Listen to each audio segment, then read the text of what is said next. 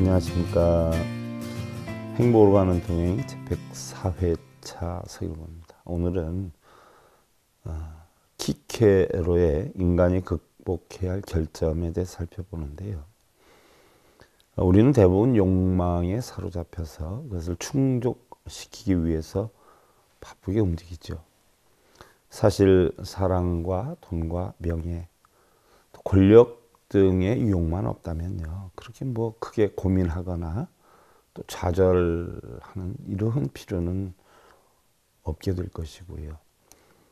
마음이 이고지고 있는 것들을 놓아버리면 마음의 병이 사라질 텐데 대부분이 물질에 눈 멀어서 욕심과 노여움과 어리석음의 노예로 살고 있으니 평생 마음만 불불 끓이다가 덧없이 우리가 인생을 마치는 것은 아닌 건지 옛날 BC 106년에 어, 라티움 아로피노 지금의 어, 이탈리아 아르피노를 얘기하죠. 여기에서 굉장히 부유한 집의 아들로 태어나서 어, 로마와 그리스에서 훌륭한 교육을 받고 가장 위대한 로마의 웅변가이자 수사학의 혁신자로서 수사법 및 웅변에 관한 책, 또 철학과 정치에 관한 논문 및 편지 등의 저서를 남기고요.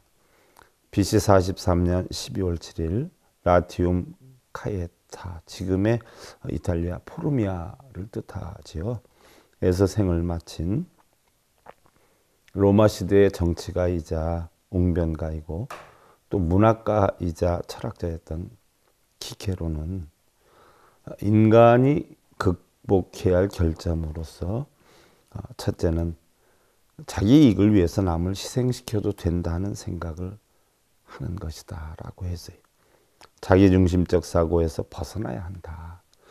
자기중심적이라는 것은 극단적으로 이기적이고 배타적인 것을 이야기하는데요. 이기심과 배타심은 절대 성공하지 못하게 된다라고 했고요.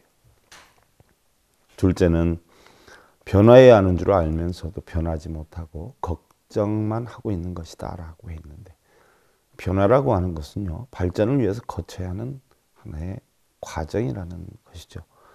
변화가 없다면 성장도 없을 것이고 또한 변화는 자신의 부족함을 인정하는 것이고요.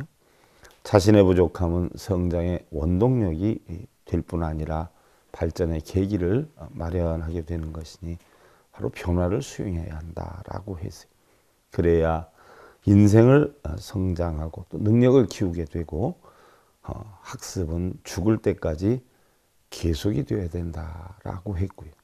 셋째로 도저히 성취할 수 없다고 생각하고 움직이지 않는 것이다라고 했는데 패배주의 의식은 대단히 위험하다라고 했죠. 항상 긍정적인 사고를 위해서 훈련을 해야 하고요. 그리고 또한 과거의 메인은 이런 사람들의 공통점은 밝은 미래를 잃어버리게 된다라고 했어요. 과거보다는 앞으로의 미래가 더욱 중요하다는 것이죠. 다음 네 번째로는 나쁜 버릇이나 습관을 알면서도 고치지 않는 것이다라고 했는데 우리 운명은요 나쁜 습관을 얼마나 빨리 신속하게 고치는가에 의해서 결정이 난다라고 하지요. 쉽지는 않지만 어, 고치지 않으면 우리 인생은 즐겁지 못하게 된다라고 했고 다섯 번째로 자기 개발을 게을리해서 독서와 연구 습관을 갖지 못하는 것이다라고 했는데 자기 개발은 평생에 걸쳐서 해야 된다라고 하는 것이죠. 뭐 충분히 배우지 못하면 우리는 실패할 수밖에 없고요. 또한 자기 개발에 노력할수록 우리가 얻는 것은 많다는 것이지요. 또한 독서는 우리의 삶을 위기에서 건져준다라고 했어요. 여러분들 책을 사랑하셔야 돼요. 그럼 그 책이 당신을 지켜줄 것이다 라고 했고요. 그리고 자기 개발을 할 수 있는 워크샵, 세미나 등에 꾸준히 참석해서 자기 개발에 힘을 기울여야 한다라고 했죠. 아파트 관리비나 한 달 자동차 기름값, 또 술값, 화장품 비용보다 각자 우리 자신의 투자를 적게 하면 안 된다라고 했어요. 우리가 배운 지식은 절대로 도둑 맞을 염려가 없기 때문인 것이고요. 여섯 번째로 자기의 사고방식인 행동 양식을 남들에게 강요하는 것이다 라고 했죠. 배타적인 것은 수용을 거부하는 것이다. 즉, 교만이다라고 했는데, 교만은 반드시 다음 날에는 패망을 하게 된다라고 했어요.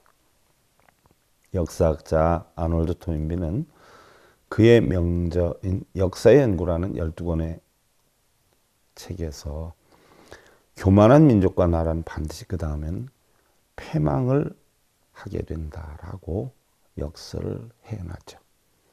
교만과 배타성은요, 우리가 살아가면서 반드시 주의해야 할 것들이고요. 또한 성공하는 사람들의 공통점은 모두가 다 수용적인 사람들이라는 것이죠. 타인과 다른 점을 인정을 하고 그들의 인격을 존중하는 것이 결국 바로 성공하는 사람들의 특징이다라는 것인데 그리고 우리가 흔히들 이야기하는 좋은 글이다라고 하는 것은요. 좋은 글 그 자체가 좋은 글이 되어지는 것이 아니라 좋은 사람이 좋은 마음으로 읽어줄 때 비로소 좋은 글이 될 수 있다라고 했고요. 또한 좋은 글은 눈으로 읽는 것이 아니라 바로 마음으로 읽어야 한다라고 해 있는데 늘 젊고 행복한 삶을 위해서는 책을 보거나 강의를 듣는 이런 삶이다라고 하는데 그러한 것들을 통해서 여러분들 행복한 삶을 만드시길 기원드리면서요.